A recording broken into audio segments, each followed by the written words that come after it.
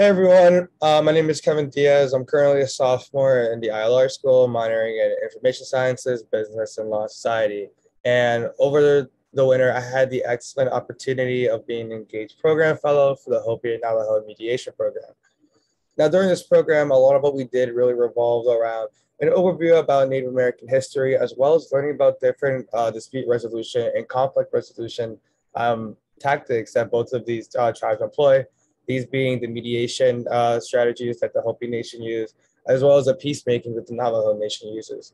Now, alongside this, um, we, we're learning how we are able to use these uh, con- conflict resolution strategies and, and, sort of use these um, and, and how they employ them in their daily lives.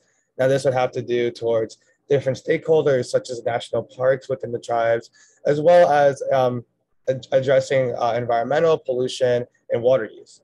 Um, and over the course of the, of the, semester, um, I have been doing research in terms of the differences between mediation and arbitration tactics in the United States versus both the Hopi and Navajo, and sort of the direction that it's going in the future.